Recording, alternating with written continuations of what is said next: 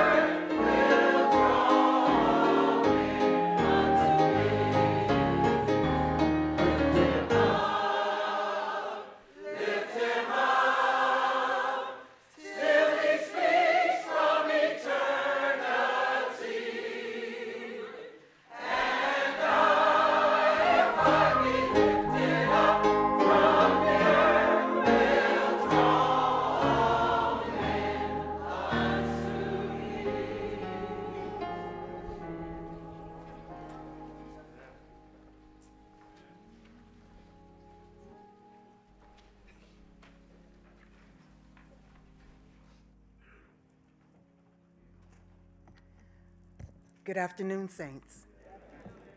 I am going to read from you the 145th Psalm, division of Psalm, starting at verse 3. 3, 4, 5, 18, 19, 20, 21.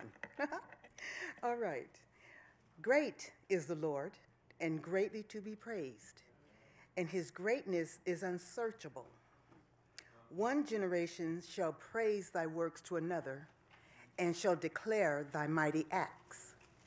I will speak of the glorious honor of thy majesty and of thy wondrous works. 18. The Lord is nigh unto all them that call upon him, to all that call upon him in truth. He will fulfill the desires of them that fear him. He also will hear their cry and will save them. The Lord preserveth all them that love him, but all the wicked will he destroy. My mouth, hmm, my mouth shall speak the praises of the Lord. that all his flesh bless his holy name forever and ever. Amen.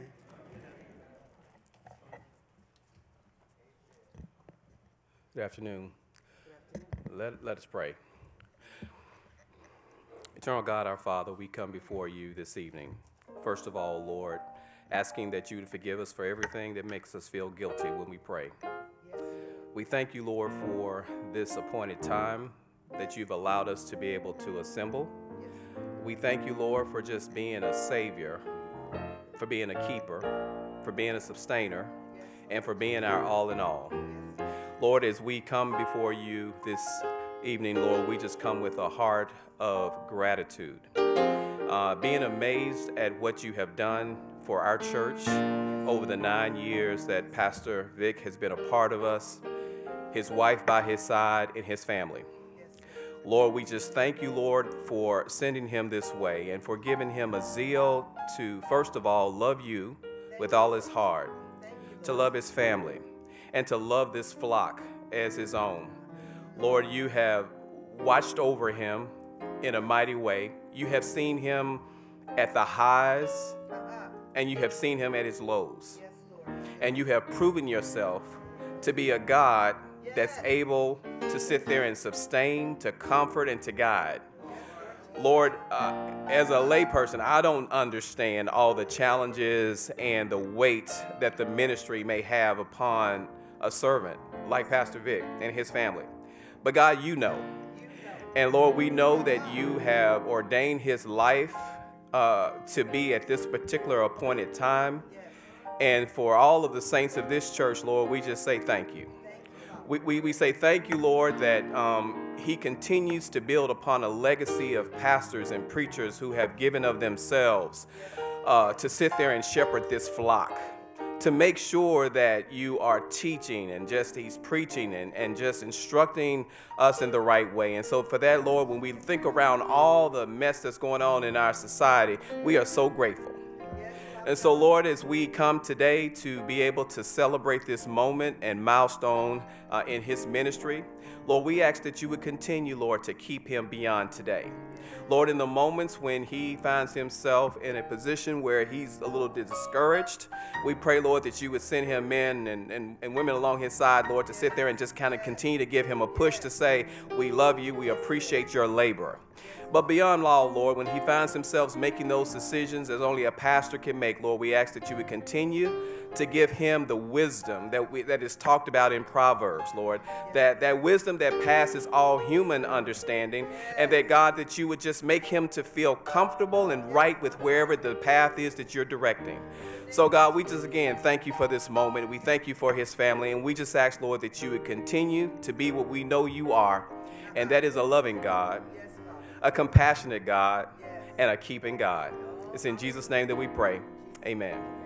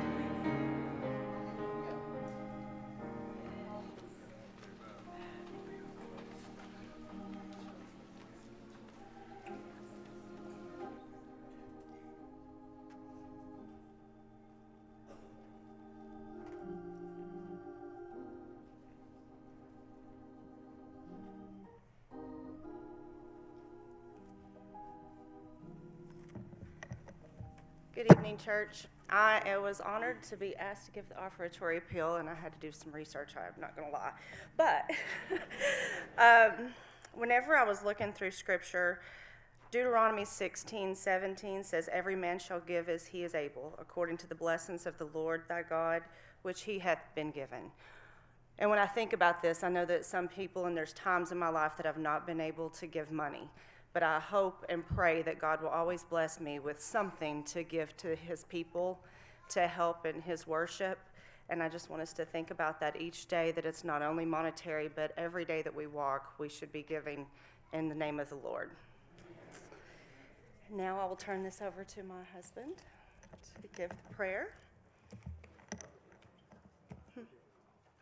We're doing tithes and offering first.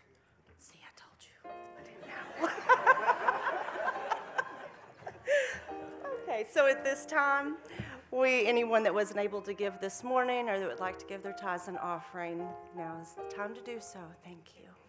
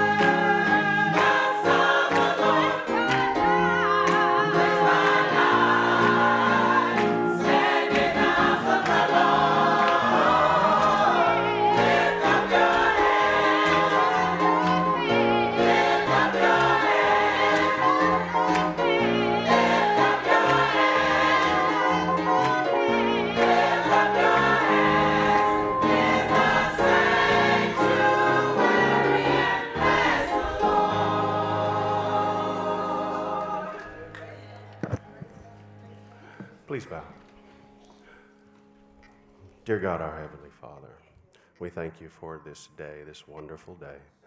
We thank you because we have a loving pastor.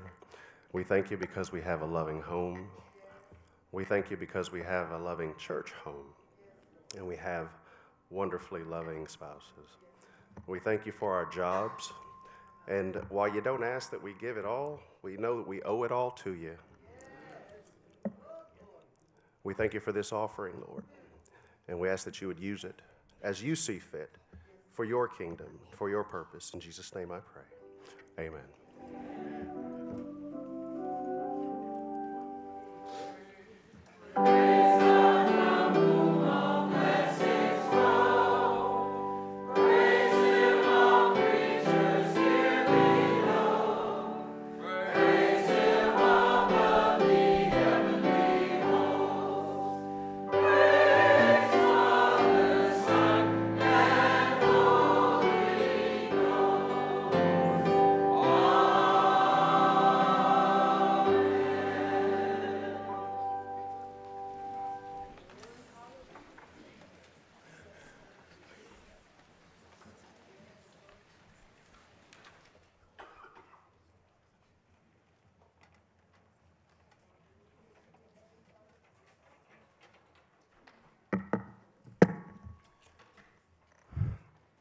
The theme, the theme of this short message is based upon the question, what my pastor means to me. The best way of answering this question is to look to God's Word, to learn what our pastor should mean to us. Perhaps this can be best answered by learning about what God's Word says. Number one, what are the qualifications of a pastor or elder? And what expectations have been given to pastors, elders, or overseers. One, what are the qualifications for our pastor? This is found in 1 Timothy 3 2 through 7. It states a bishop or an overseer then must be blameless, the husband of one wife, vigilant, sober, or perhaps sober minded, of good behavior given to hospitality, apt to teach. I think it's fair to say Pastor Scholler has opened up his home to many of us here, and it's obvious Tuesday during Bible study and Sunday his ability to teach us the Word of God. Verse 3 goes on to say, Someone who is not given to wine, not a striker or someone who's violent, not greedy for filthy lucre was a King James way of saying someone who's not in it for the money, but patient. Someone who's patient, not a brawler, not covetousness, or not covetous. God goes on to say, one that ruleth well his own house, having his children in subjection with all gravity. And why is it important for Pastor Scholler to rule his house well? Verse 5 tells us, For if a man know not how to rule his own house, how shall he take care of the church of God? Verse 6 goes on to say, A bishop overseer cannot be a novice, lest being lifted up with pride, he fall into the condemnation of the devil. And verse 7 states, Moreover, he must have a good report of them which are without, lest he fall into reproach and the snare of the devil.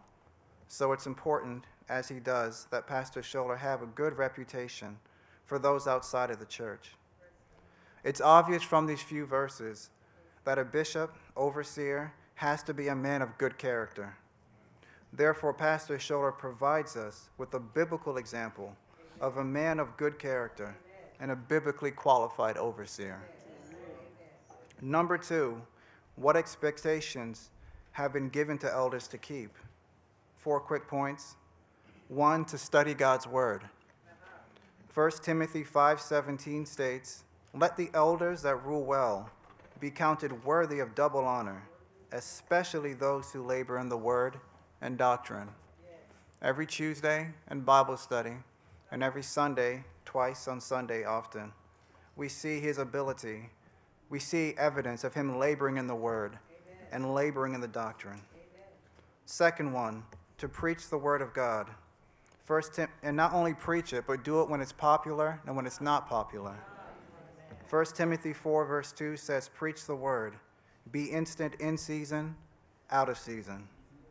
Thirdly, to pray for the sick. James 5:14 says, "Is any sick among you?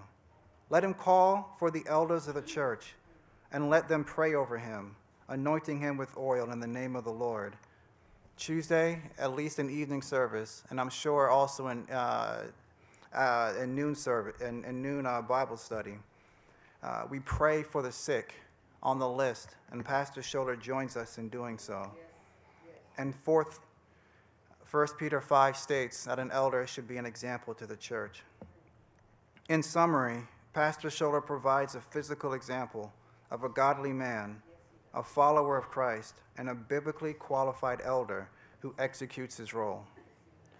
1 Peter 5 2 through 4 states that elders are to feed the flock of, feed the flock of God which is among you, taking the oversight thereof, not constraint, but willingly, not for filthy lucre, but of a ready mind.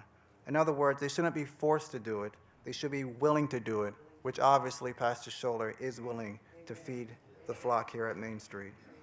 Verse 3 and 4 goes on to say, Neither as being lords over God's heritage, but being examples to the flock. And when the chief shepherd shall appear, ye shall receive a crown of glory that fadeth not away. Thus it is only a matter of time before our pastor Scholler receives his crown from Jesus Christ. And what a magnificent crown it shall be. Thank you.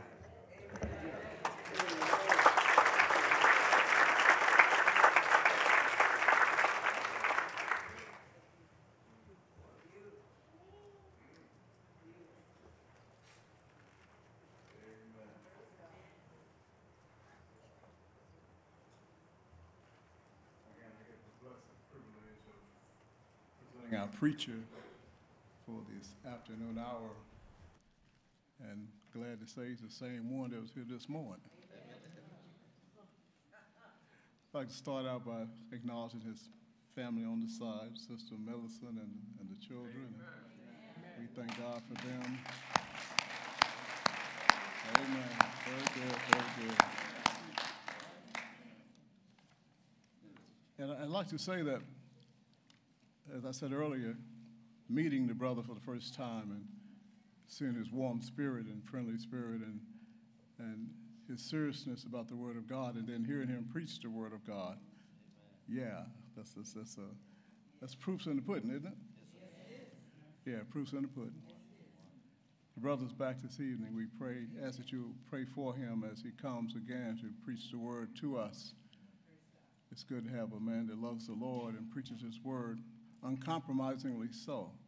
So we thank God for him. So if you would, would you clap your hands and say, Preach, brother, preach. Preach, brother, preach. Amen. And after the choir shall have sung, the next word voice you hear would be Pastor Gordon Rowe.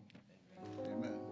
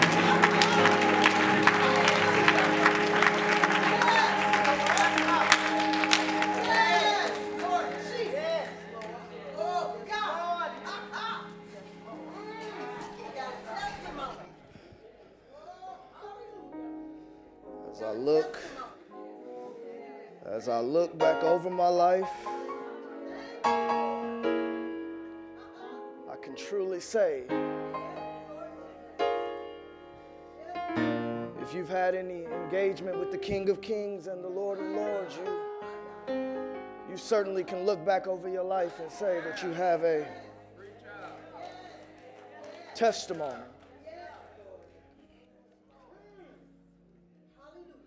Once again, to, to our wonderful pastor, Sholar, to, to my brothers in the gospel ministry, to the family of God, once again, good evening, Main Street. Allow me just a, a, quick moment just to express on behalf of my bride and our children just our, our, our gratitude. I preach better when she's in the building, so it's, it's good. No, but, but allow me to just express, express my gratitude to you all. Your pastor could have anybody in this pulpit this, this day, but by his invitation, we are honored and counted a joy to be here. We count it a privilege. We thank you, Main Street, for your hospitality, for your love, and just for your expressions as we've walked through the door. It's beautiful to hear. Welcome to Main Street. Amen. When we come in. So we just want to express that to you. Also, allow me to say that, that we are encouraged, and it's a wonderful testimony of you, of your love for your pastor, his wife, their family just to see your expressions of love all day long towards them. It's an encouragement. And it's a joy and a wonderful testimony to you. So praise God for you today. If you got your Bibles this evening,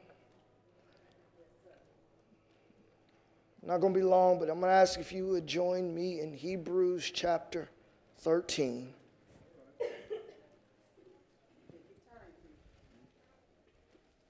Hebrews chapter 13.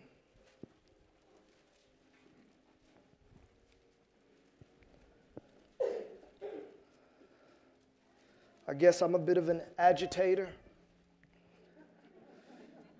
So I, I, I, don't mind going to places that don't make us comfortable. I like to read into your hearing, we're going to just concentrate on the 17th verse. Hebrews 13, 17. It reads, Obey your leaders and submit to them.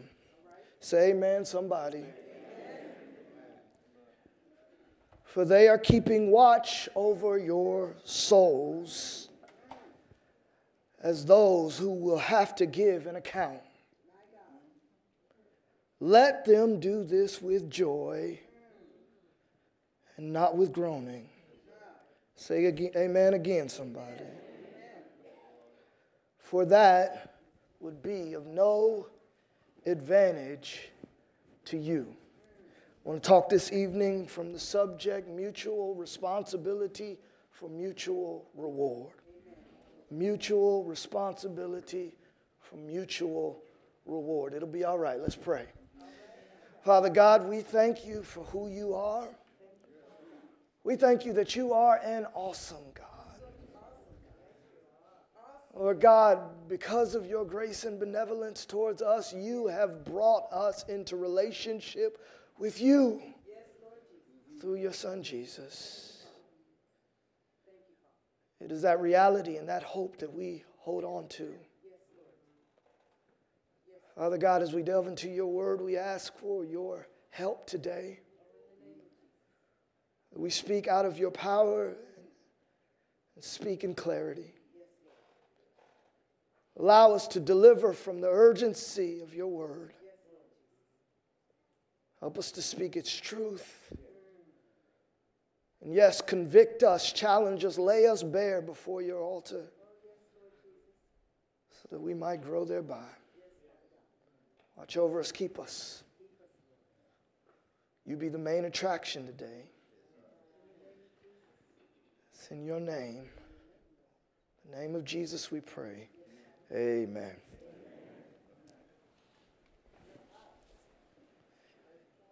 Mutual responsibility for mutual reward. There was a sister. She never got along with the pastor. They always seemed to butt heads. They, they never could, could, could get along. Just so happens one morning, this sister and the pastor arrived on the parking lot at the same time. She got out of her car, he got out of his. He, he came to try to greet her. And, and as she was walking away, he said, uh, Sister, I need to, to catch you really quick. Let me, let me talk to you. Walking away, agitated, she says, Not now, Pastor. I'm slated to give an announcement. I got to go put some things in order. But, sister, as, as, as she walked away, walked through the door. She went on into Sunday school, sat through Sunday school, and pastor came and sat out in the vestibule waiting for her to get out. As she came out of Sunday school, the pastor seen her. He said, Sister, I, I, I need to talk to you. She said, Not now, Pastor. I got to go in and give this announcement. He said, but wait, I, just, just, I need a quick moment of your time. Just got to tell you something. She said, uh, Pastor, not now. He said, well, here, at least take this note and please read it before service. Sister, a little bit more irritated now. Said, Pastor, I'll read it when I get an opportunity. Sister goes into church. She takes her seat. She sits through worship. She gets up to give her announcement. She, she sits through the remainder of worship. She greets people at the, after the benediction. She goes to her car. And as she gets to her car, she sets her things in, in the passenger seat. And all of a sudden, she seen the note from the pastor fall out of her Bible. On the outside of the note, it read, Please please read before service, underlined twice under the words before. She smirked, feeling though she did her thing on at, in her time. She began to open the note. She opened the note, she began to read. It said, Dear sister, did not want to offend or insult you by making a big scene. But I would not be a loving and caring pastor if I did not tell you that your wig is slipping and dangerously close to falling off. Just trying to look out. P.S. I hope you read this before service.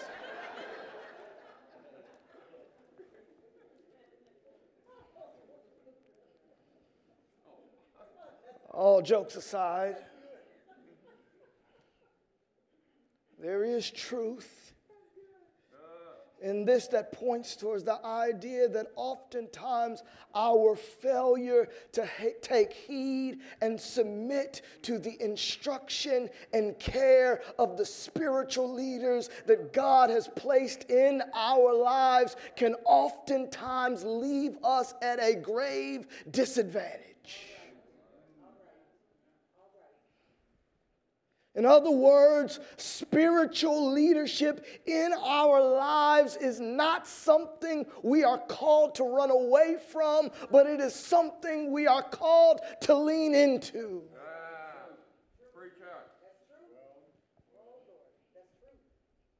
This is what the Hebrew writer suggests here in our text. This amazing letter is being brought to a close. He, he frames his readers' understanding of their structural relationships of and responsibilities within the church and among the people of God, ultimately for God's glory, but subsequently for their good.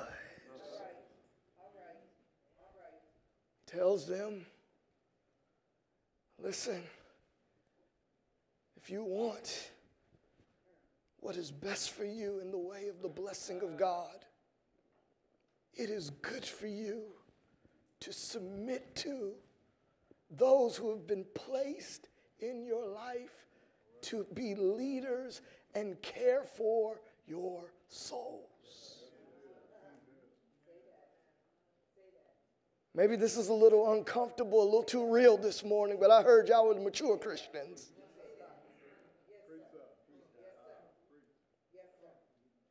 I'm going to stay in the book. A few things he says here by way of instruction. First thing he says is God's people have been given the responsibility of submission in the church. He offers words that we, we regard oftentimes as four letter words, as, as bad words within the context of our culture. He, he says right out there, straight with no chaser, obey and submit. I'm sorry, maybe I should say it a little softer. He says, obey your leaders and submit to them. There, there's no way around it. He, he, he says, as the people of God, we are called to recognize, uh, appreciate, highly regard, uh, esteem, treasure, value, celebrate, respect, honor, take heed to, listen, follow, place confidence in those who have been given the responsibility for the care of our souls. Yeah. The glaring implication and truth here is that spiritual people are called to take heed to and listen to spiritual leaders. This is not religion, this is righteousness. This is living according to the will of God. One may be wondering this evening okay, how do I reconcile that? How, do, how, do I, how do I apply that? How do I understand that? Let me try in my little few moments to, to try to help this morning. First thing, we got to make sense of this by recognizing that this is a command mandated by the Word of God. The pastor, your pastor, all pastors are not God. We know that. Therefore, the pastor himself cannot give or demand this authority on his own. It is true. Yes, he is just a man. He, he puts his pants on one leg at a time, just like you do. He works. He has bills. He has a family to take care of. He gets cut off in traffic and gets frustrated, just like you do. Yeah, he gets sick. Yeah, he has parent teacher conferences. Yeah, he's got to deal with some things every human has to deal with. And so we often are tempted to dismissively demote him to having no authority in our lives or or we can we can sit there and, and, and we can fixate on his humanity so much so that we limit the spiritual authority that he's supposed to have in our lives so oftentimes we may accept good preaching, but keep spiritual direction at arm's length. I can come in here and hear you and be encouraged by you on Sunday, but but but take it any further, Doc, I'm not sure.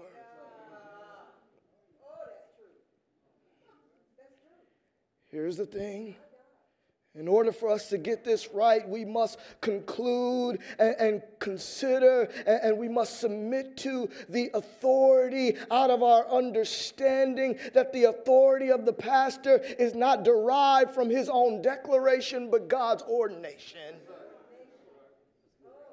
This is God's doing, not man's doing. This authority is given out of the Word of God. It says it right here very clearly. Because of this, our submission to leadership is ultimately submission to God, never man.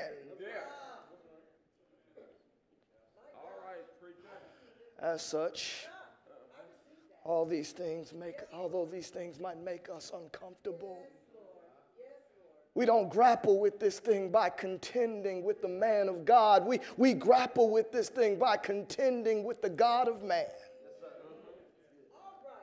That's how we work through this thing. So, if the question is why submit to Him, the answer is ultimately because I'm submitting to God.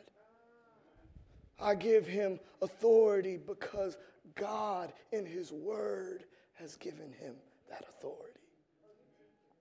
Secondly, you reconcile this understanding that if this is mandated by the Word of God, it is also governed by the Word of God. Because the pastor only has this authority based on the Word of God, he is also challenged to live up to that very same Word.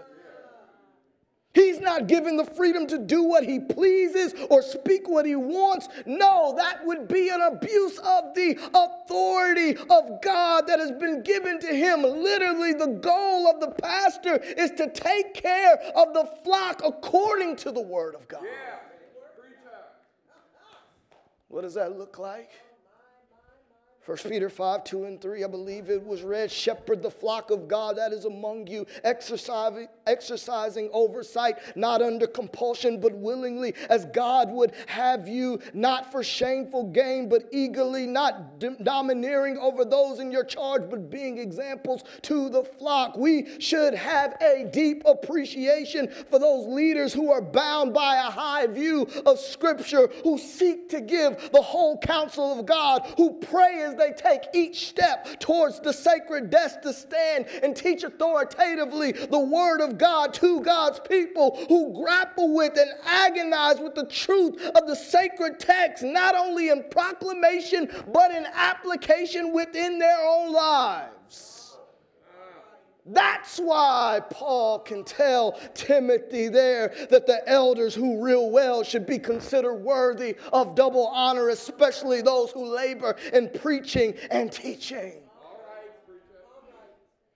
You have a spiritual leader who is governed by the word of God, it should not be a problem to submit and, and, and follow that type of leader. You got a man of God, which I believe you do. I'm not talking about Main Street, though. But if you got a man of God that is laboring to point you to the Word of God, instruct you out of the Word of God, live up to the Word of God, encourage and strengthen you through the Word of God, equip and challenge you in the Word of God, you shouldn't have a problem following. I don't mean to park in your driveway this morning, this evening. However, if you got this type of man of God and you're having trouble submitting and following his leadership, the problem is not him. The problem is you. Can I preach this bold here? Is that all right? Problem is, sometimes the people of God, we're good at judging the abilities of our pastors, but we're not good at, at evaluating the responsibility we have.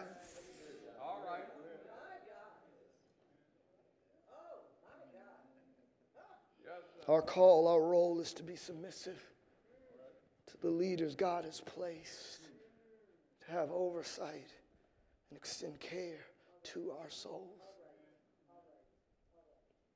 reminding us here. Secondly, the, the writer here, he helps us even further.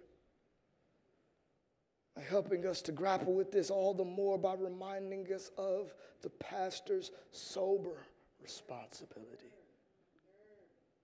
The writer continues, Obey and submit. Why? For they are keeping watch over your souls as those who will have to give an account.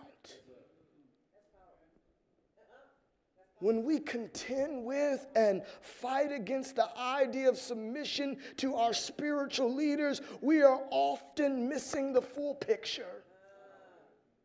The argument that it's hard to submit must always be balanced out or brought back into focus with the insight and understanding of the sober responsibility held by your leader. Said another way, when we think about how difficult it is to obey and submit and how much we're not a fan of that idea, we must equally consider the flip side of this coin of how significant and solemn and sobering of a burden it is to care for our soul. What do I mean? Okay, let me see if I can help. My son, he's a little bit younger. He didn't really dig bedtime. He didn't like it too much. Go try to put him to sleep, and all of a sudden he was hungry. All of a sudden something hurt. All of a sudden something was wrong. Finally, he'd, he'd, he'd be ready to go down, and sometimes he would look at me and he would tell me, he would say these things. He would say, Dad, it must be awesome being the dad. You don't have any bedtime. You get to stay up as late as you want. And I would sit there thinking, I'm like, son, I wish somebody would give me a bedtime. I'd shut this thing down right now. If somebody told me to go, I- would go willingly. The problem was, see, what my son was perceiving as a benefit was actually a burden. You see, brothers and sisters, what the Hebrew writer seeks to impress on the hearts and minds of the reader is that we must understand and frame obedience and submission to spiritual leaders not as a benefit for them, but a burden for them. This is why he says, Obey and submit, because they are keeping watch over your souls as those who will have to give an account. In other words, he is saying, when you envision submitting to your pastors, don't envision them sitting on thrones. Instead, envision them sitting on watchtowers. He says, listen, when you when you try to sit there and envision submitting to them, don't envision them standing on balconies of castles. Envision them standing guard at the gates of the city. That's how you have to perceive this thing. The good pastor cares for you, prays for you, visits you, takes notice when you're not in the house of prayer, cries with you, cries for you, stays up late and rises early on your behalf, spends hour in the word and prayer trying to give you a good word that he can feed to you. If there's no glamour, he's a guardian.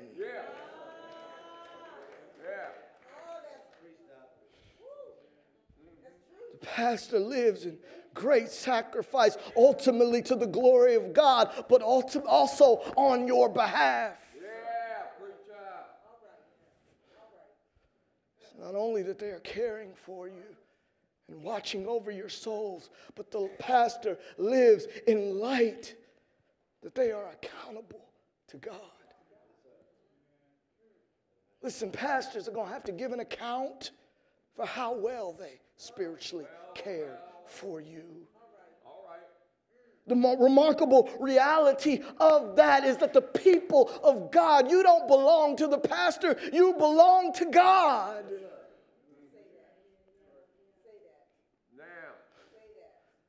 You ever watch somebody else's kids? You're a little bit more nervous. I mean, you love your kids, but but you, you, you want to make sure as you, you, you take them back that they're the same way they got dropped off to you at. I mean, you, you, you sit there and you're like, man, let me make sure I watch them just a little bit more carefully. I can take care of the bills of that one, but, but, but these, I, I, they belong to somebody else. They're precious cargo. They're valuable to somebody else. They're not mine.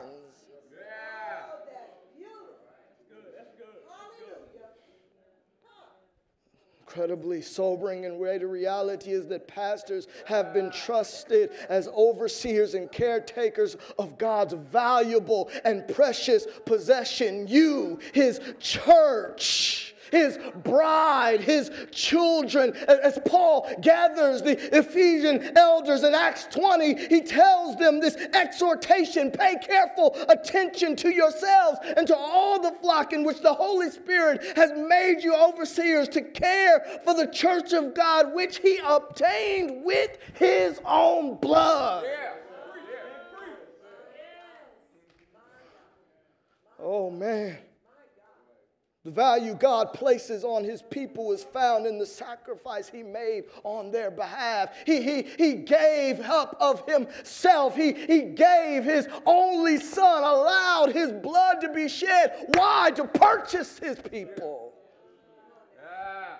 And now he's entrusted that to the pastor. The pastor must shudder every time they consider that reality. Don't hear this wrong today. This is not a complaint. I hope that's not what you're hearing from my spirit. It is an incredible joy, an incredible privilege to lead and, and to be in position and to have the, the opportunity to be used by God. But I don't want you to miss the fact that it is an incredibly sober responsibility. Hebrew writer says the people of God are called to submit the responsibility to the leaders are sober. And in light of all this, he says, finally, because of all this, help your pastor serve you with joy. He says, he concludes, let them do this with joy and not with groaning. Why? For that would be of no advantage to you. Brothers and sisters, if you want a theological foundation for what you are doing today, this is it. You are expressing your love to him. Why? Because you want to encourage him and help him and his wife and his family to continue this sober responsibility with joy. Brothers and sisters, we are called to do everything that we can to help him lead well, help him serve, help him watch, and help him care for your souls with joy. Continue, family, to help him fight, to keep the discouraging darkness of Mondays away. Encourage him and help him to remain refreshed so he can continue standing guard protecting this flock with joy. And we care and tend to the joy of our leaders. Hebrew writer says, listen, this is an advantage to us. He says, listen, when we don't do this, this is a disadvantage. It, it, it's, it's not in our favor, it doesn't work out well. Family, I just want us to consider sometimes blessings are removed because we're not doing what the Word of God prescribes. If you'd allow me just to offer a quick closing thought. No, I ain't got much more time, but I hope you didn't close your Bibles too quickly if you run down to verses 20 and 21. Hebrew writer. There writes this amazing benediction. He says, Now may the God of peace, who brought again from the dead our Lord Jesus, the great shepherd of the sheep, sorry, sound people by the blood of, e- of the eternal covenant, equip you with everything good that you may do his will, working in us that which is pleasing in his sight through Jesus Christ, to him whom be glory forever and ever. Amen. let me, let me just give you this closing thought. Those who have been redeemed by God should know the blessing of having a good shepherd.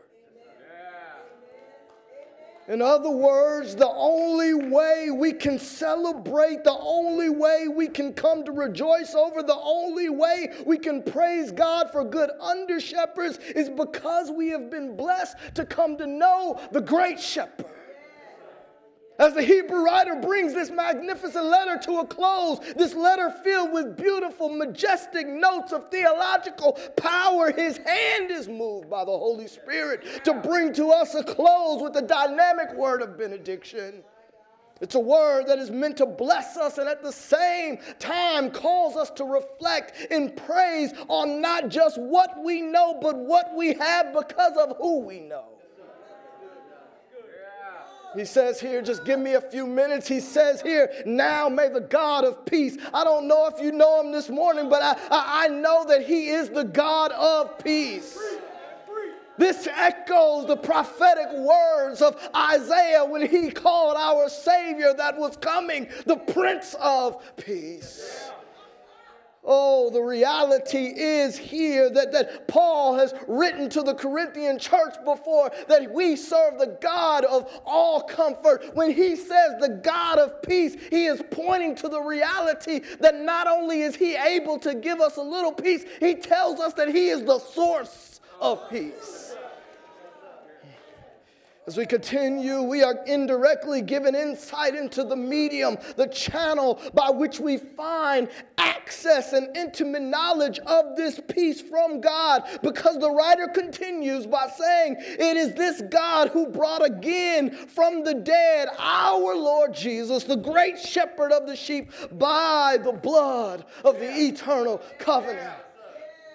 Don't miss this here. Jesus is not our great shepherd by accident. He is our great shepherd because of his great sacrifice. Oh, if you wonder why is he the great shepherd, it is because he paid the price to be the great shepherd.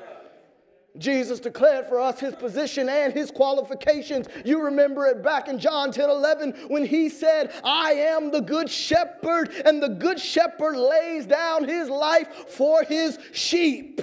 It is because of the victorious war that he waged against sin, death, and the grave that he has become our great and glorious and gracious watchman and protector of our souls. Yeah.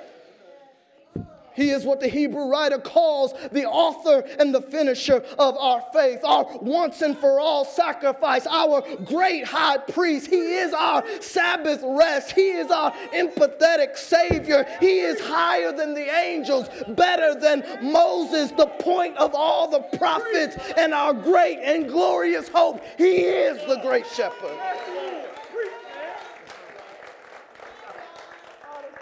He is the great shepherd. So, what is this writer's prayerful and blessed hope? Here it is in verse 21. His prayer is that our amazing God of peace, through the transformative, redemptive work of our great shepherd, would do what? Would equip you with everything good that you may do his will, working in us that which is pleasing in his sight through Jesus Christ, to whom be glory forever and ever. Amen. If I were to wrap this with a bow, we'll get our little family together and get on down the road. Let me just give this one to you. He says amazingly when we read this back towards these sobering responsibilities, both of pastors and people, both of pulpit and pew, we understand the command of God being the will of God and that what it looks like to do that which is pleasing in His sight. We learn that in order to do it, we must be equipped with all and everything that He has to offer that is good so that we can do His will. Here's the good news though in Jesus, you got everything you you need to do what is right. You just got to submit to Him so that you can. Yeah. Family, this is my prayer for you. Let it be your prayer for me. Let it be your prayer for your pastor that our great, glorious, and gracious God, the one who has covered, cleansed us, saved us, redeemed us, will continually, with his peace, equip us to do his will and be pleasing in his sight. God bless you, Main Street. God bless you. God bless you, man. God bless you, man. God bless you, man. Appreciate you. God, bless you, man. Appreciate, appreciate you. God bless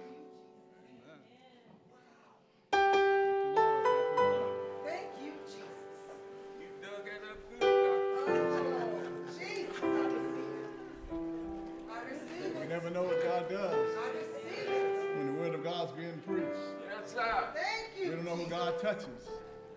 We're going to ask you all to stand if you would. Oh, I receive it. And if there be one that the word has touched their heart, that you'll come and tell us about it. Come and tell us about it. Come to Jesus.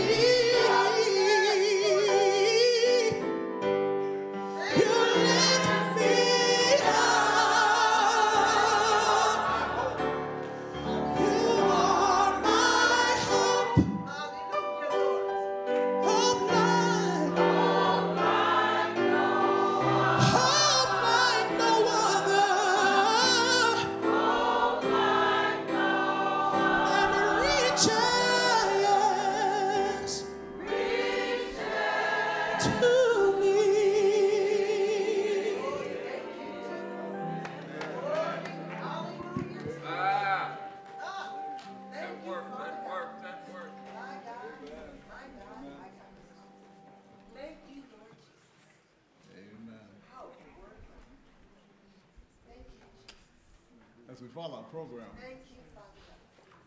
you notice that it says special love offering. We're going to ask the ushers to serve us a special love offering given to a special person. Yes. Amen. Amen. This is an opportunity for everybody in the house to participate. Give to our pastor. As God has touched your heart to give. Yes. Yes. And we pray that what we give is a blessing to him. Amen? So the ushers are going to serve us. And let us give our special love gift. And also notice that following that, we're going to have an opportunity for the auxiliaries to come and make presentations so you can ready yourself so that after we give the offering, an opportunity for the auxiliaries to make presentations. Amen. We do this every year, right? We know we know what we're doing, so it's nothing new. So uh, let us give it to the Lord. What the guy say on TV? Let's do this expeditiously. Amen.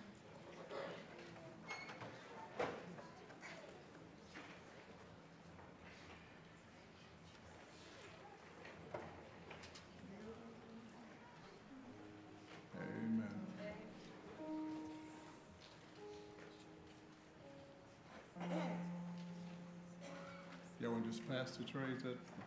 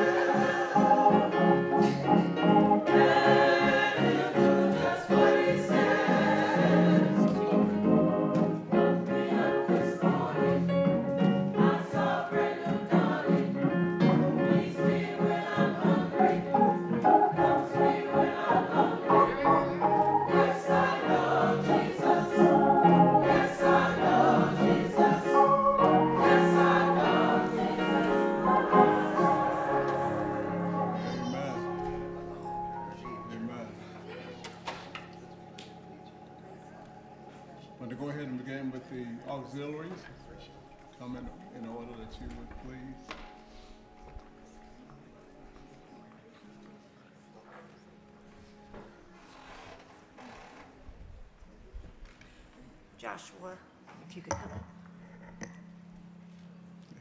We hear um, from the Padion Ministry just to say that we love you, we thank God for you, and we're glad that God sent you and your family this way. And we just have a little something for you.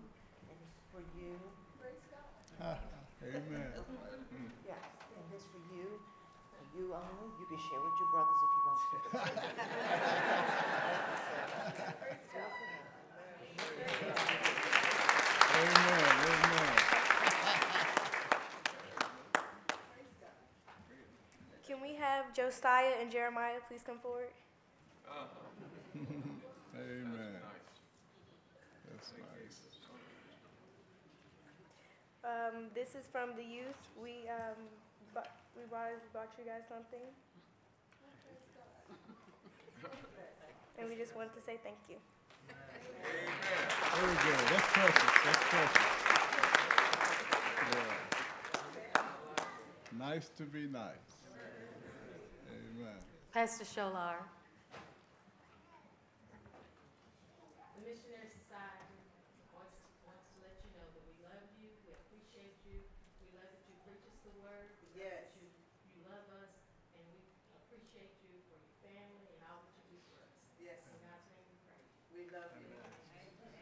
Amen.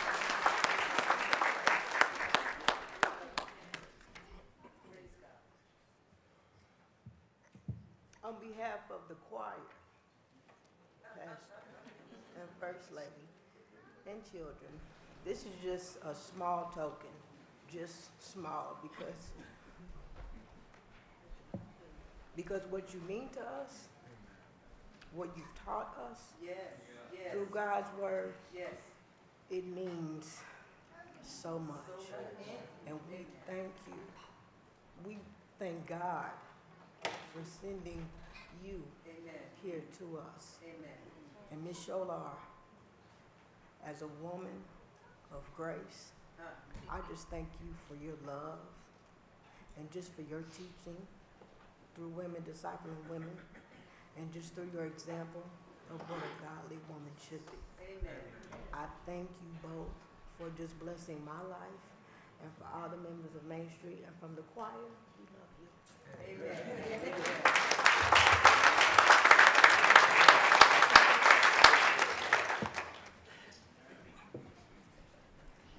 Pastor Sholar, this is from the Senior Adult Society. On behalf of the Senior Adult Society, we just want to say happy anniversary. We love you. We appreciate you. Sister Sholar, we love you. Thank you for teaching and preaching the word to us.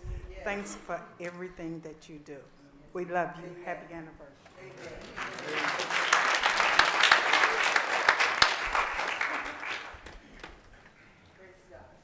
Pastor Sholar, we just, uh, the Mennonites Missionary Circle wants to let you know that we love you for your labor of love and for always preaching the word.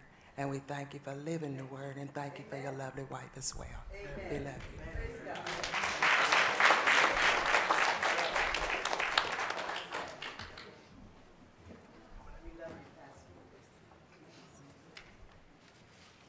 Good evening, Pastor. This is from the, the men's ministry. We just want to say thank you and wish you uh, congratulations on your ninth year anniversary. And we just thank you for, thank God for sending a man here after his own heart. And you're definitely after the, God, the heart of God. And we just thank you for all your teaching, your leadership, because you lead by example. And we just thank you and just want to bless you with a love gift from the men's ministry. And we just say thank you.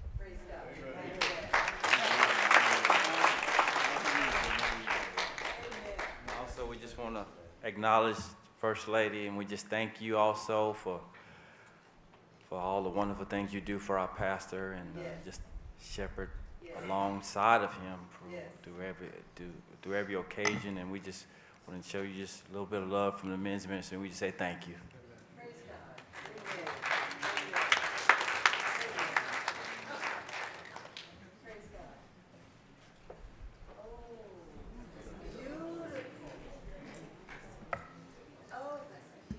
Evening, church.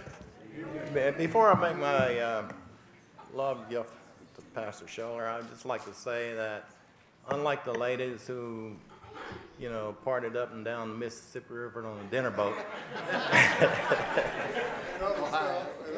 and uh, yeah, yesterday we had a very good uh, fellowship and dinner with Pastor Sholar at Sedona. And, and I might add to that, what happened at Sedona, I hope stays here.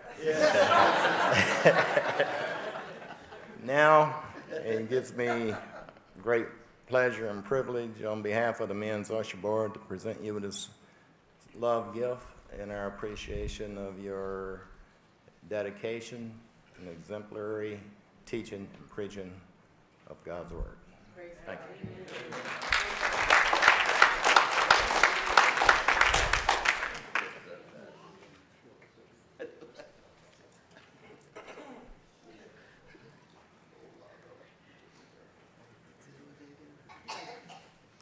Jealousy is such an ugly thing. I, I don't know why the men are so jealous of us women, but anyway.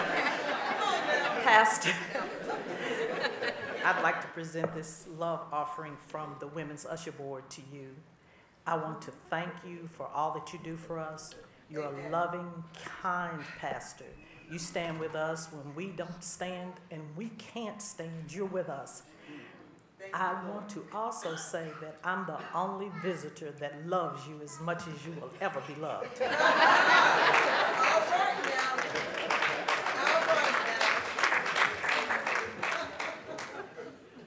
Praise God.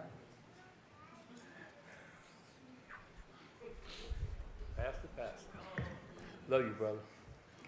And we so appreciate your ministry, your leadership, your loving us, Lord, and just guiding us, Lord, following Jesus so we can follow you. Yes. Lord, and on behalf of the deacon board, deacon body, I want to present you with this little token right here, Lord. Well, And so we love you. Amen. praise God.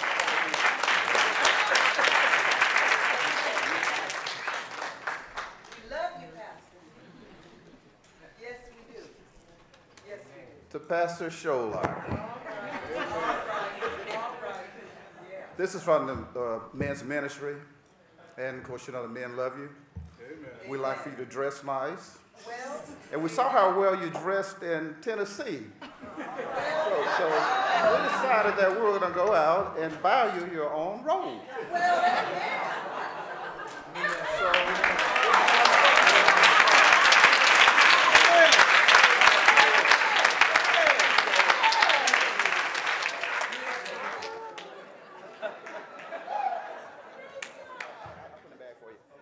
uh, we also have a uh, gift card for you, but Les Moore is not here, so he had the money in his pocket, so we'll get it to you later.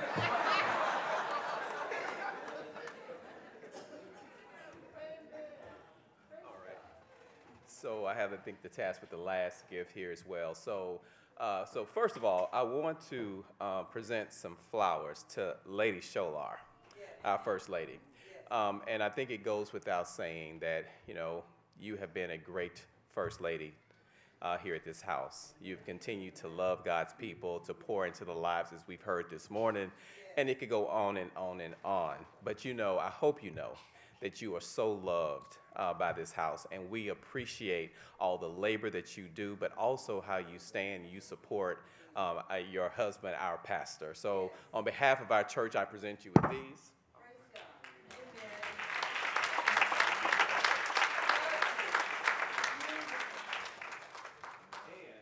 Um, if, if I could have everyone stand, because everyone's a part of this particular gift, uh, and Pastor, have you come up and, come up front as well. Um, we would just like to, on behalf of our entire church, um, say say thank you. And I think Nina said it best. You you give so much, and when you think about the charge that you have in terms of making sure that you preach, you teach, you encourage, and you have responsibility for the souls of individuals that you see standing. Uh, and I know you don't take this task lightly, but it's on behalf of your church, we love you and we appreciate your labor. And it's one of my mom's friends used to sit there and say, We love you and there's nothing you can do about it. So, all right.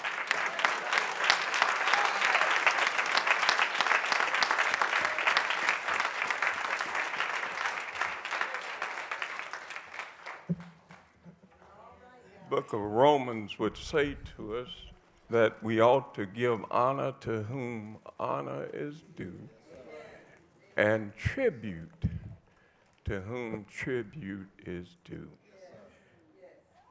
This, my pastor, certainly fulfills all of those qualifications.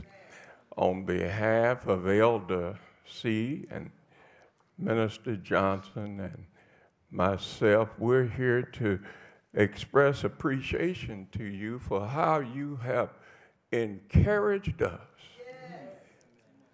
You have blessed us in oh so many ways, showing us things that we ought to know in God's Word. And we have grown.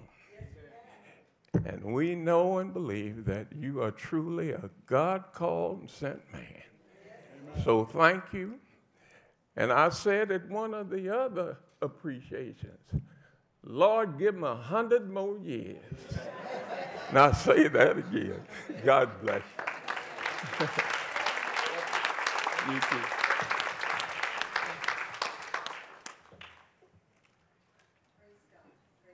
Giving honor to God, to my Main Street family, and to my pastor, First Lady.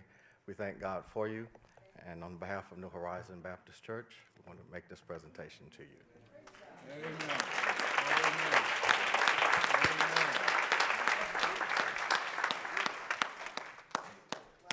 Amen.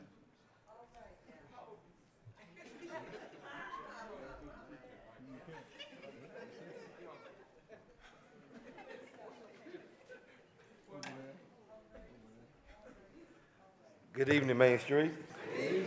On behalf of my wife and I, and Greater Salem, and uh, literally our families, to you, from us to you, we give you all this little token of appreciation, just a little small bit. Maybe buy your wife a cheeseburger or two, buy your kids some fries. But again, we are so grateful. Thank, thank you for your friendship. Uh, words can't adequately express the love we have for you all and, and what you all meant to our lives, uh, not just pastorally, but also personally. We love you, brother. Thank you. Amen.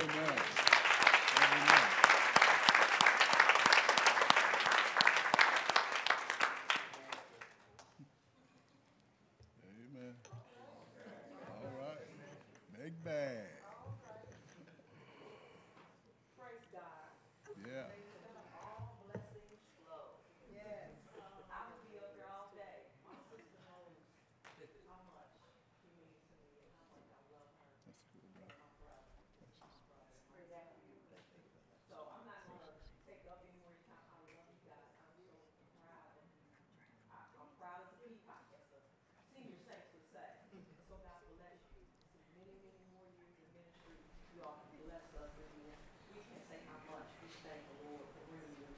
Amen.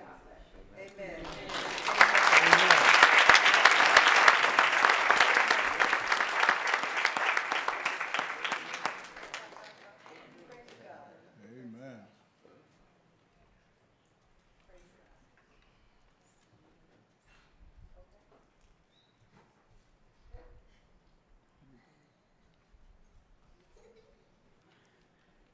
Amen. God for all the presentations and gifts and we can't say thank you enough. Can't say thank you enough. We love you, brother. We love you, Pastor. Amen. Love you, sister. Yes. Amen. We love you. We always say, man's got to have a better half. you got a sweet better half. Amen. Yeah. Oh, just clean your throat.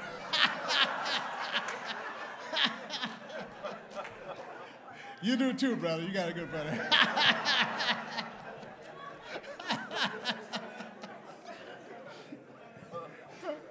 Let us bow. our Father and our God, Lord, you are so great. We give, we give thanks to our pastor as we give thanks to you for sending him here. All things come of thee, O Lord. We're so thankful that what love we have to share comes from you because you are love. Master, you, you bless us in so many ways. You've kept us all the days. And here we are, Lord, a nine year point. Woo wee, Lord. It went so fast, it seemed like he just got here. In one way, then another way, we know that's not true. Because we've seen him toil for nine years. We've seen you bless him for nine years. But it just moves so swiftly. But Lord, we say thank you. We know that every blessing that comes our way, that you are the origin of it. Even when things are, are cloaked and looks like it's trouble, those are just experiences, Lord, you're allowing us to get through, to put it in our witness bag, that we can tell somebody about God who provides for us. We say thank you. So now, Lord, I pray that what has been done today has in some small way blessed his heart, Lord have it, Lord, in, in, the way, only way that you can do it, like nobody else can do it. He and Sister Sholar and, and, and the boys have them to know that they are loved by you, yes, but also by us. Make it real, Lord. Make it real to them that they feel it down in their bones. Bless them, Lord. Keep them, we pray. We ask it all in Jesus' name. And for his sake, we ask it all. Amen and amen. Amen. So now, saints, we going to ask you to stand as we present the pastor of Main Street Baptist Church.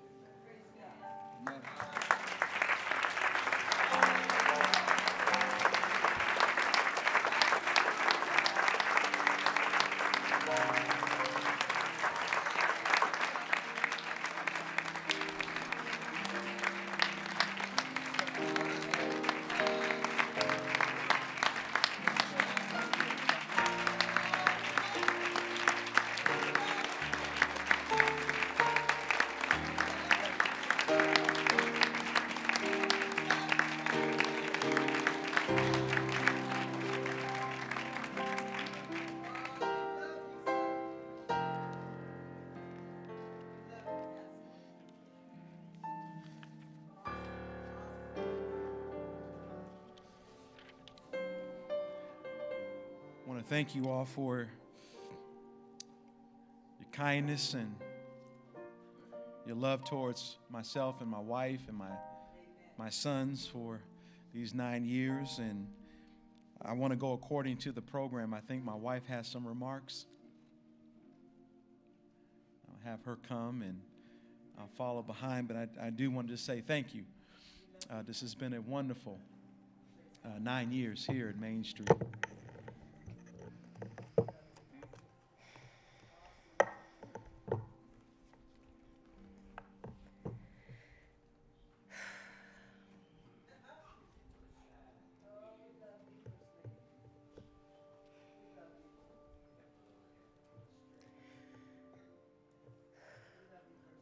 First of all, I'd like to thank the Lord.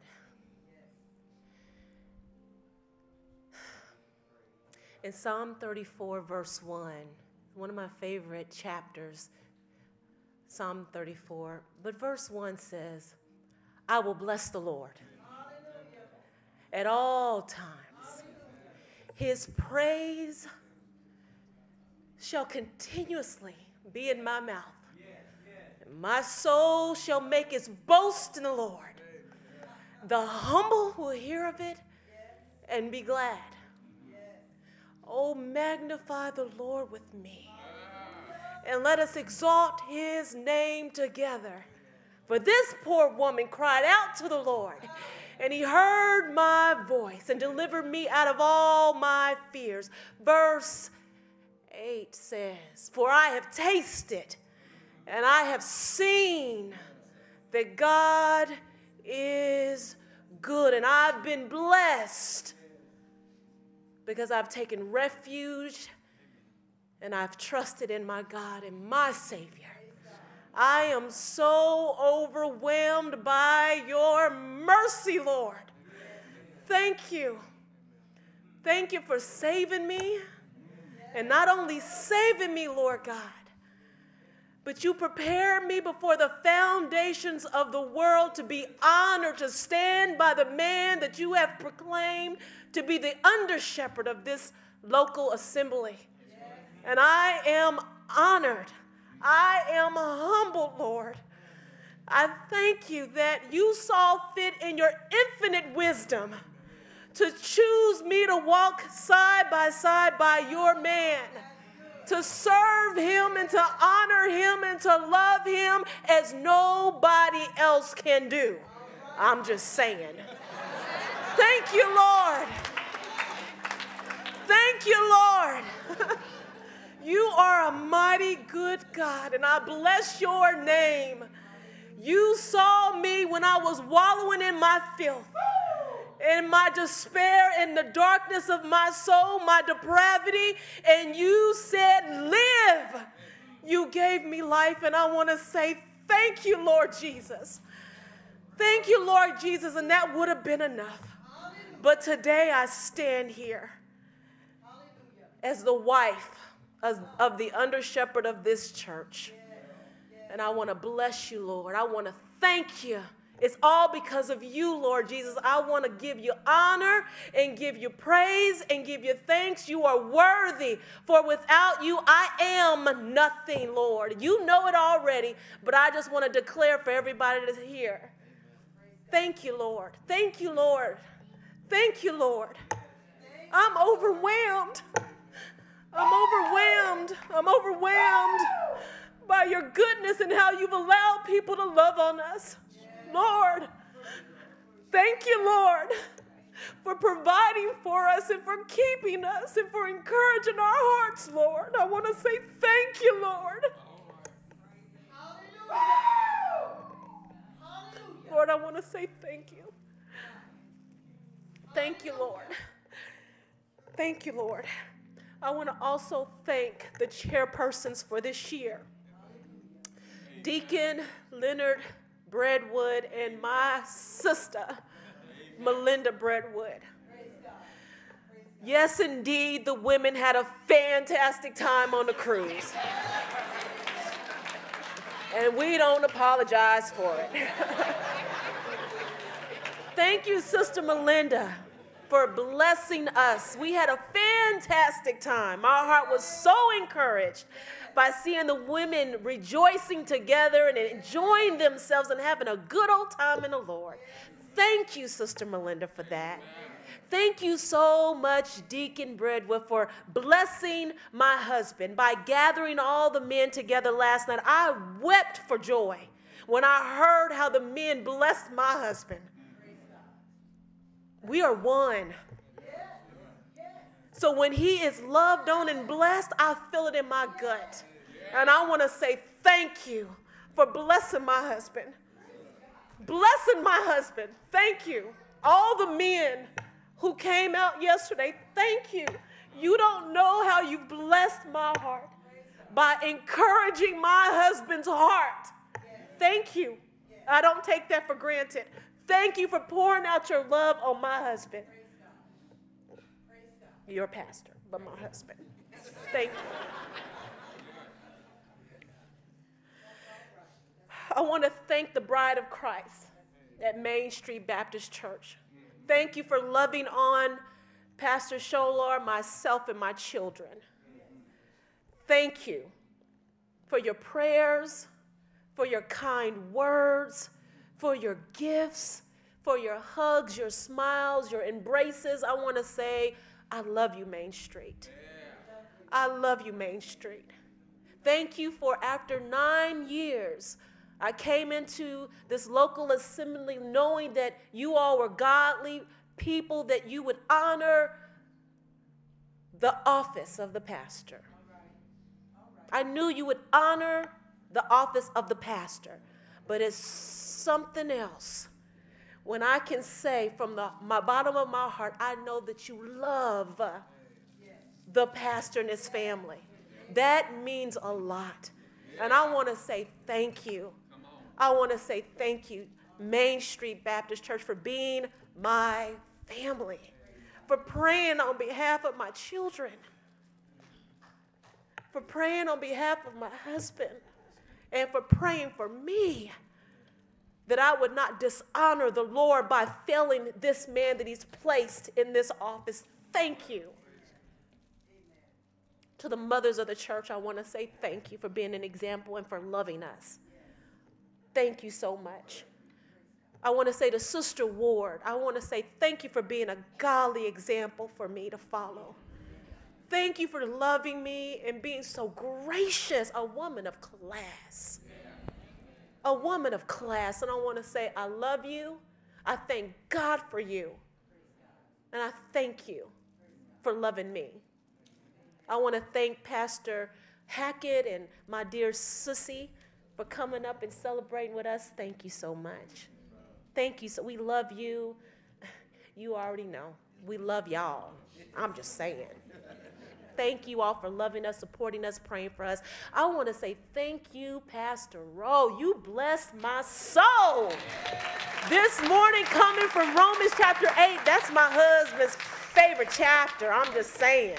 But that bless you walked us through the whole book, the whole counsel of the book of Romans. And I want to say thank you for your labor. Thank you so much for loving on your bride. Thank you for loving on your bride and those beautiful babies. And we're praying for you. Thank you for blessing and feeding our souls, focusing our heart and our minds on the, the, the great shepherd. Thank you for that. Thank you for your labor. Thank you so much. Thank you so much, Pastor Brown and, and Elder C and, and Minister uh, Kenneth. Thank you for laboring alongside my husband.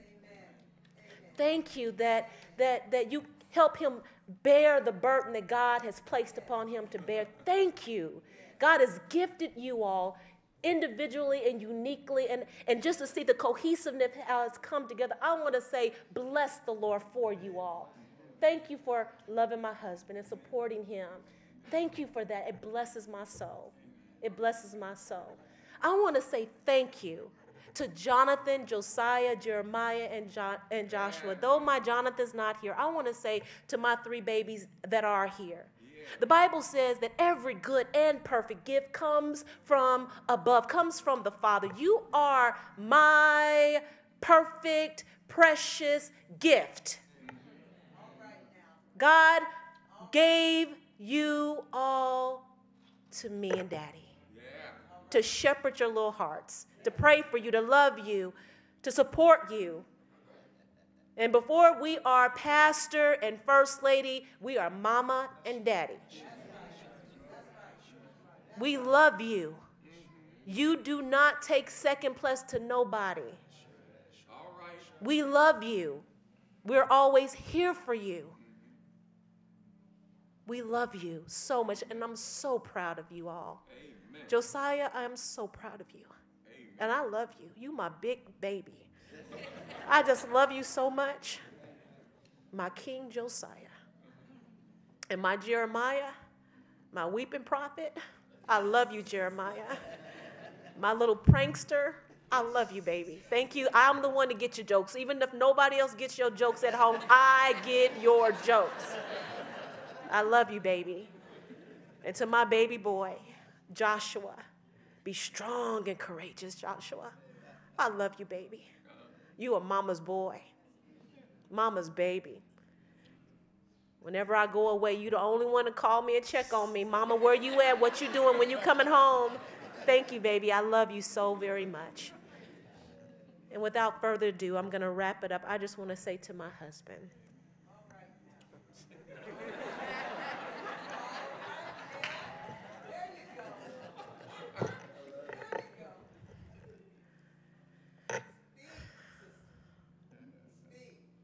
Twenty-seven years ago this month, the Lord saved you. 24 years ago, He brought you to me. And I just want to say, nothing has changed. when I stood before that altar before God and I committed myself to love you, to serve you, to be your greatest cheerleader, to help you, to help you serve and honor the Lord. Nothing has changed. As long as the Lord has me here, I know my calling. I'm not confused. I'm not confused at all. As I see God blessing your life, it brings me great joy. I adore you because you are my gift from God. God doesn't make mistakes. And God said He gives me the best gifts.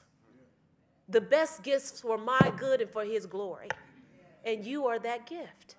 I recognize that. You are my gift. And I pray that the Lord would allow me to serve you, help you, counsel you, love you to the best of my ability. And you know I ain't playing about that. I'm so proud of you, Pastor Sholar. I've seen you at your weakest points. I've seen you when your heart has been broken. I've seen you when you've labored in prayer for those that you have a charge over in the flock. I've seen you seek to raise your sons while being the pastor of Main Street Baptist Church. I've seen you seek to love me as Christ loves the church while loving Christ's church. Amen. And I'm encouraged because you love the Lord God and it's genuine. It's genuine. You're not perfect, God is perfecting you. You've not been glorified, but God is sanctifying you. And I can testify, I can testify to your pursuit of holiness behind closed doors. And for that, I honor you. Yes, you get up there and God has gifted you to recall scriptures. You have taken us through, actually, I wrote them down. You've taken us through James, John, Jude, Job, Daniel, Ecclesiastes, Titus, Ephesians, Jonah, and my favorite book, Revelation. You walked us through those books completely expositorily. You broke it down, you brought it to, to, to bear upon us. You, you, you, you fed us God's word. And, and, and, and, and, and, and I want to say thank you. God has gifted you. And like I said before, as long as you don't turn to the right nor to the left, God is for you. And no one will be able to stand against you. As I close, I think of that wonderful prayer in Second Chronicles, I believe chapter 20, um, verse 12, where King Jehoshaphat, the king of Judah, um, there was a great horde coming against him. The nations were coming against him, and and and they were mounting up a force to besiege uh, the, the, the, the land of Judah and to kick uh, the people out of the land that God had given them. As I, as I look around and I see what's going on in our, in our parking lot, and, and, and, and, and, I, and I see how you're standing behind the pulpit and you're, you're speaking and you're, you're, you're standing up against, as you went through the book of Jude, and you're standing up against apostates, those who are distorting, prostituting the gospel of Jesus Christ. Uh, uh, uh, there's going to be spiritual attacks coming against you. But Jehoshaphat, Jehoshaphat said this. He, he, he, he was a little uncertain and a little afraid. And he said, Lord, this great multitude that's coming against us, we can't stand. We don't know what to do. But our eyes are upon thee. And in verse 15, it blessed my heart. The Lord came through a prophet and said to Jehoshaphat Don't be dismayed and don't be afraid. The battle is not yours, it is the Lord. See the salvation of the Lord, sweetheart. The Lord is for you, and I got your back. Amen. Amen.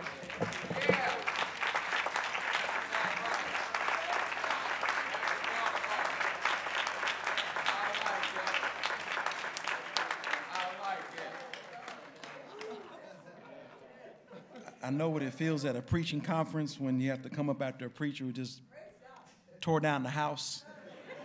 That's how I feel every year when my wife speaks. Like, let me just do the benediction and let's just go home. Um, I, I, um, I want to say that in light of the, the sermon that was preached tonight, that I, I love being the guard of this church. I, I love standing guard over you all soul. It, it is a privilege and an honor to, to pray for you, to, to teach the Word of God. I, I get tired in the work, but never of the work. And uh, it is a joy to shepherd you all. It really is. Uh, I thank God uh, that He would call me to this, this flock, this church, and to serve, uh, to pray, to preach the Word, and, and to, to minister to you all. So I'm thankful after, after nine years I can say that.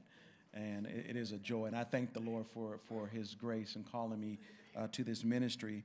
I thank the Lord. I really do. As my wife made mention, uh, that this is the 27th year the Lord saved me. So, so when, when Elder Ward was in his third year here in Main Street, six and a half hours away from here in Jefferson City, Missouri, God saved me. Your, your 15th pastor was saved. And never would have thought uh, that God would take a, a, a sinful man in the world, save him, and on that same college campus, bless me to meet my bride, and then call me to the ministry. That he would take a sinner and say, I want you to be a pastor. It's just a grace. It's just a grace. It's just a grace. That's, that's nothing but that's nothing but God. I wasn't raised in church. This, this is nothing but God. This is a miracle you see up here. It ain't, ain't me. Jesus said, I'm going to take you, I'm going to save you, I'm going to call you to shepherd my flock. And when I see my name on that door every week, I'm like, Lord, are you kidding? All I can do is boast in my weaknesses.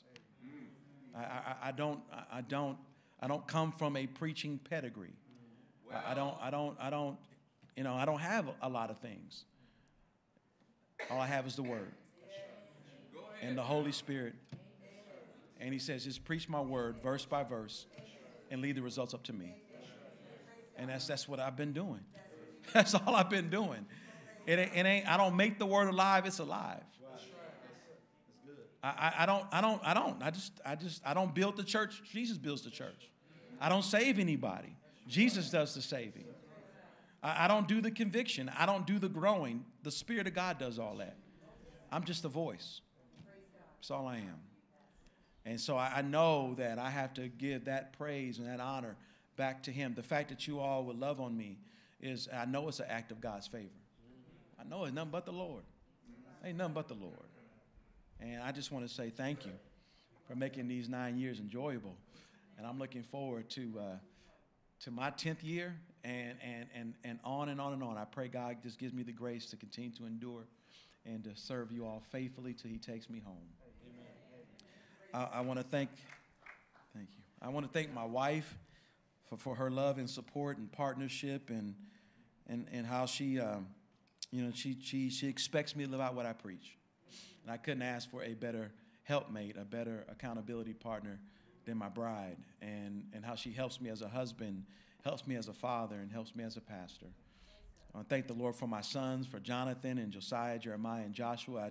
I, uh, I know my son Jonathan, he texted me and told me he wished he was here, and I just thank the Lord for him and what the Lord's doing in his life, and thank the Lord for uh, the seasons that God just takes us through, even as He sanctifies me personally, even as a parent, and to see the power of God, how He strips you of all pride and thinking you can raise your kids and you can get them where they need to be. And God says, Listen, this is much you need me as a pastor, you need me as a father. And God just shows that. And I thank the Lord for Josiah. And he's growing and working and graduating soon. And I'm just blown away by that. Jeremiah's in high school now. And they were little guys when we came here, you know. And, and, and now, you know, uh, they're, they're grown up and, and they're growing up before us. And, and, and, and then, you know, Joshua now, you know, he, this year he didn't even want me walking to the bus stop no more. I'm, I'm, I'm, I'm breaking down. I'm like, you sure you don't want me? No, Dad, I got it. I'm like, son, you know, it's a ministry to me. You know, like, nah, I don't need, you know, just don't need you hugging on me. I'll say I love you here. My friends up here at the corner, just let me be. And so uh, I'm like, man, so it's quite an adjustment that's happening in our lives in the Sholar home. And I thank God for every moment. Thank God for every moment. Thank again the church. I thank the Lord for Elder C, uh, just being uh, such a help to me, uh, an encouragement, uh, just an accountability to me, uh, just um, support. I thank the Lord for Elder C. Um, uh, I'm sorry.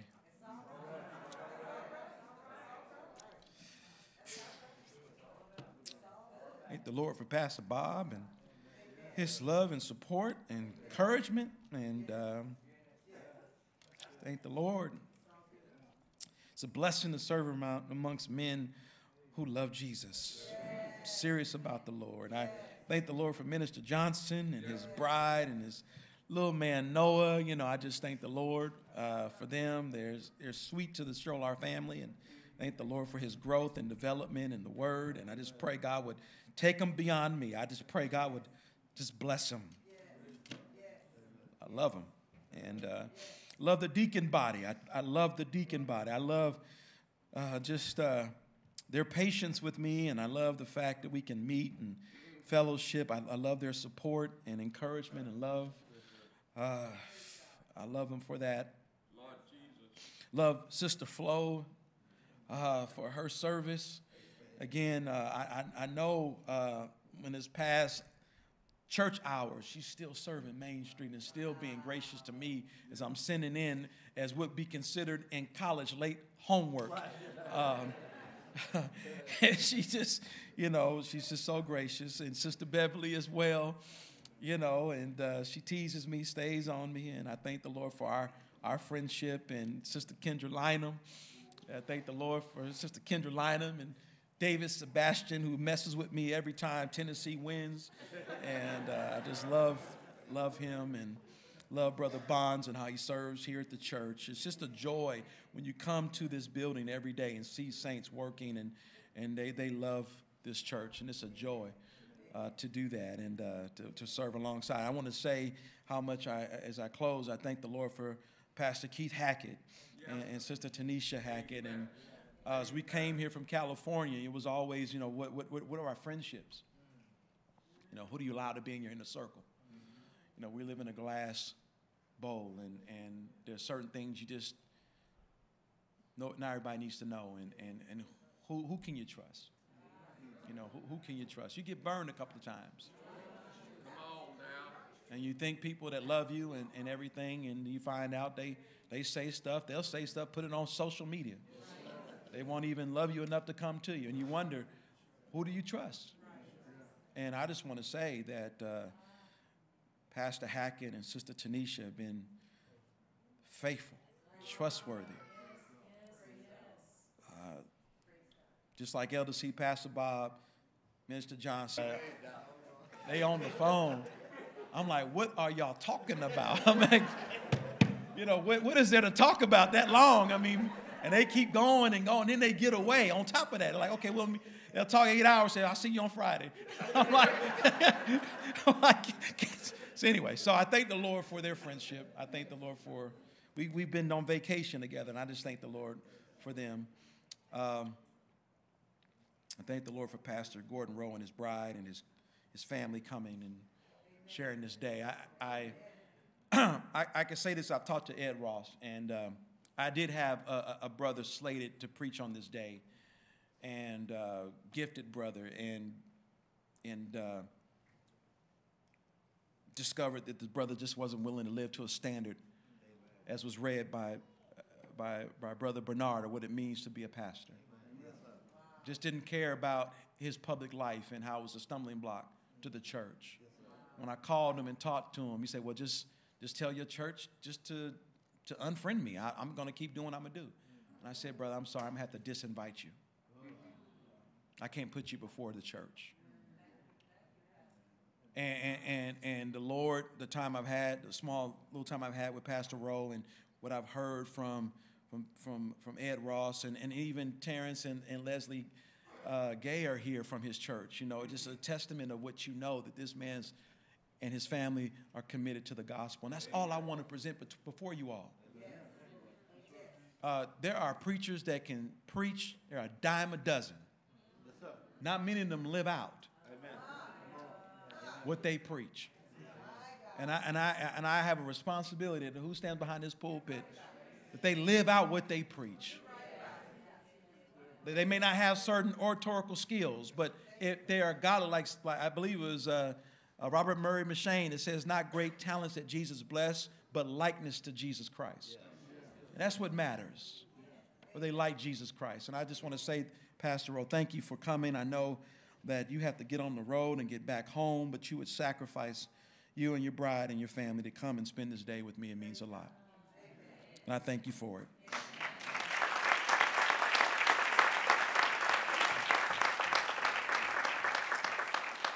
So I say to Main Street that uh, I love you. I love standing, I love to, to, to spend and be spent for the gospel here at Main Street Baptist Church. I love you and God bless you.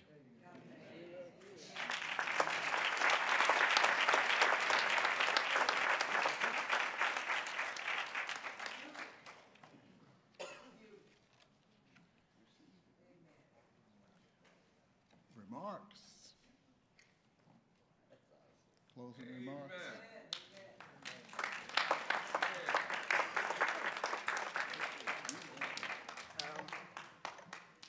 First of all, I honor the Lord first for saving me. I thank the Lord for bringing me to Main Street because everything that I know about the gospel, it was here. I was saved under the ministry, of, under the word of God from Elder Ward, and I've been blessed all the more, even more, along with under the pastorship of Pastor Sholar, and I thank God. So, Pastor Sholar, we thank God for you. We thank God for you being a serious pastor who's concerned with the well being of our souls, one who is not swayed by popularity or fanfare.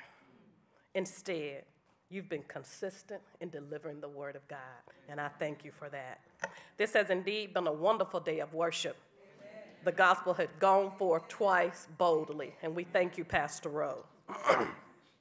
I pray that your hearts have been encouraged and that you all have been reminded and you've experienced the love and appreciation that we have for you.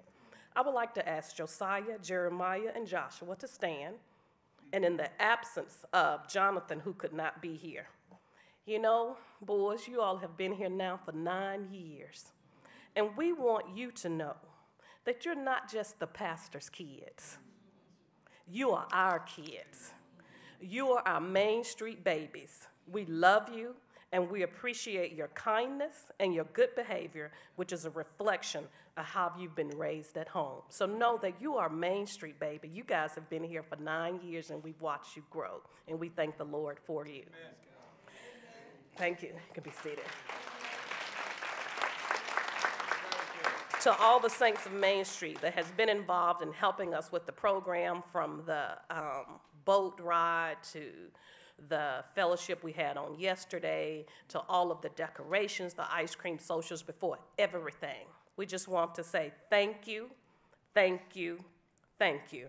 I always say I wish I could have a video to give to the pastors so that you could see the actual response that is given whenever it is that we ask people to do something that your hearts might be blessed. So, to Main Street, thank you all again so much for your labor and the precious time that you gave to bless the hearts of our pastor and his family. Saints, now that Pastor Anniversary Day is over, the Belle of Louisville is carrying other passengers. the decorations will come down the event announcements will no longer be in the bulletin. And you'll even put away your silver, black, and fuchsia outfits. But, Saints, I encourage you that we do what Pastor Sholar charged Mount Zion to do last week as he did the investor services for Elder Watson. And this is what he charged them with he said to be sure, pray for your pastor and his family on a daily basis. He said to be patient with the pastor. And he said to participate in the ministry, in the work of the Lord alongside the pastor. So I encouraged us that as the pastor anniversary season has gone, but let us continue to pray and keep our pastor in our forefront. Again, we love you and we thank God for you. So let's go downstairs and get some ice cream. And um, there will be a receiving line so you all can individually say again how much you love and thank God for your pastor. Be blessed.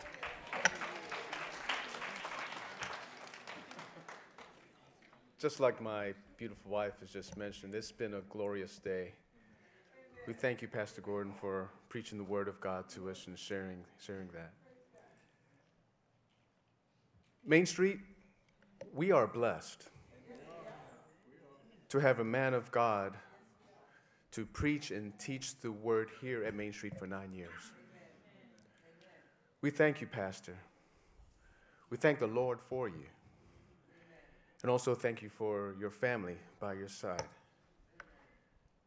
To be patient with us, to encourage us, to preach and teach the word to us, but more so to love us, as Christ has charged you to love his flock. Sometimes you may not see it directly.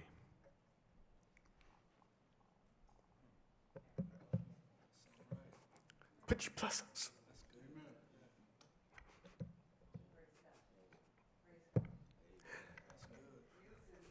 I saw in um, the men met last night.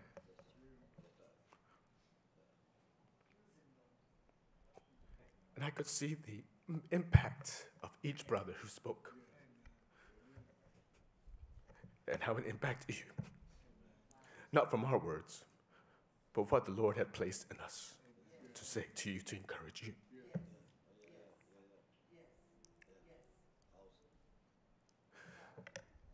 Because men of Main Street, ladies of Main Street, children of Main Street, it's not about us, it's all about Him. And whatever we go through, and whatever we face, we know we have a God that loves us. We have, He has sent an under shepherd to protect our souls. And that He holds us and loves us and, and encourages us in His word. And we're thankful for that. As my wife has said, that it's not just a day, but it's every day.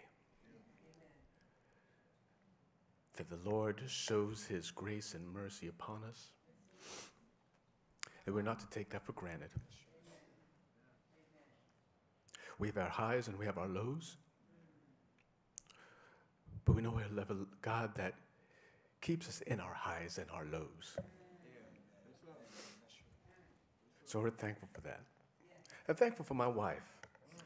I, I think for the labor of love that she has put together for organizing this event. I'm, I'm thankful that I was able to honor to help her in the little way that I could.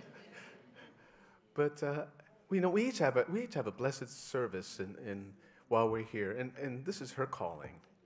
And she's blessed to do that. So I, I thank you for my beautiful bride and, and, and all that she's done. I'm thankful for that.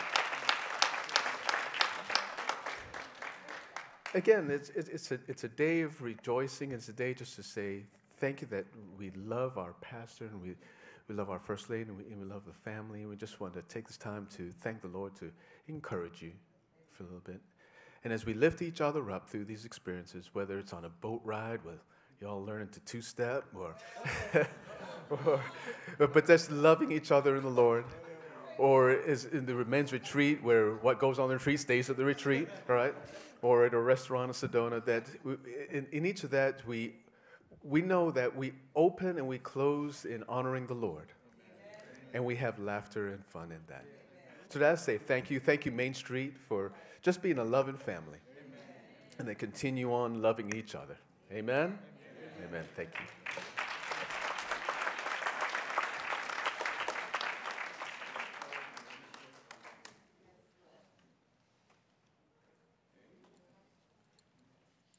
Ooh wee. Oh, happy day. What a day. I think it's time for the benediction, right? And go down and eat some ice cream. All right. I heard amen for the ice cream. Let us stand.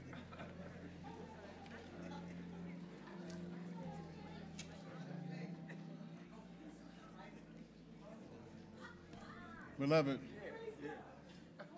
and now, may the grace of God and the love of our Lord and Savior Jesus Christ, the ever abiding presence of the Holy Spirit, rest, rule, and abide with us henceforth, now, and forevermore. Let the church say, Let the church say, Amen.